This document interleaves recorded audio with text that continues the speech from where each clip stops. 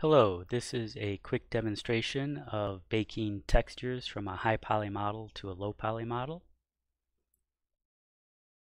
We have a high res model and the low res model. So first thing I'm going to do on the low res model, go to the textures tab and or the materials tab and delete all the materials. I'm going to add a new material and call it bake diffuse.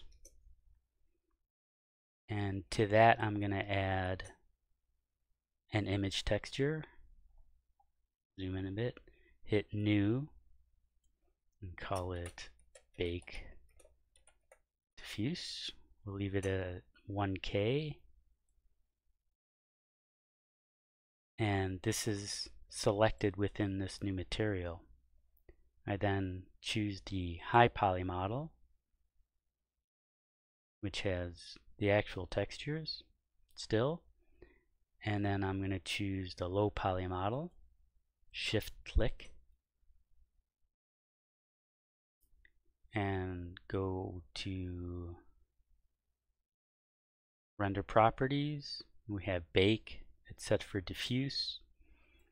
I'll set the ray distance at 0.1 and hit bake. This is going to take a few minutes, so I'm going to pause the video. Okay, so we're almost there. 98%, 100. So this is the bake. It's only 1K, so it's a bit noisy. And if I wanted to do, say, glossy, I would add another texture, image texture, hit new, call it bake glossy, and then in the render properties tab, go down and choose glossy and hit bake. Um, I'm not going to do that for now.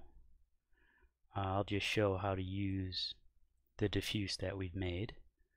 So I'm going to duplicate this low res, shift D X, just move it over so we can see both.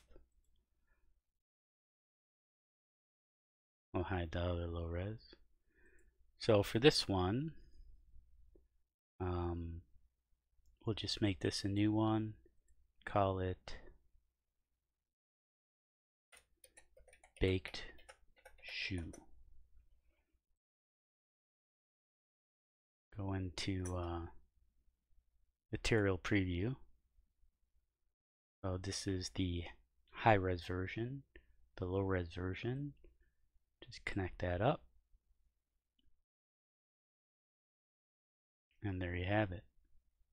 And again, you can bake the normals, bake the glossy, etc., and then just hook them up to the appropriate slot here. So you'll have a texture for, or a material for your low poly version. That's it for now. Thanks for watching.